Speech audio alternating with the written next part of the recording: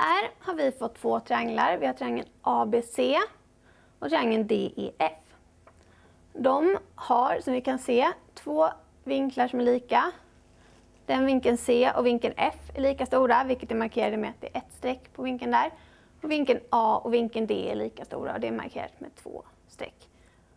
Och när vi vet att två vinklar är lika så vet vi att de här två trianglarna är likformiga.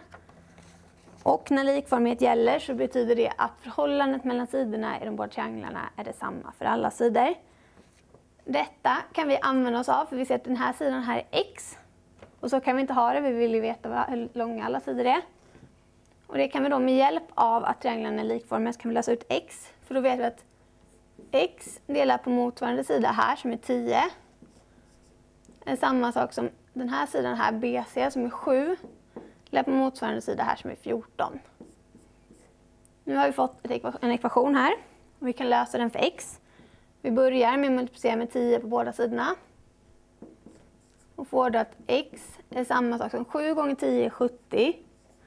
Delar på 14. 70 delat på 14 är detsamma som 5. Med andra ord är sidan AB här i den lilla triangeln 5.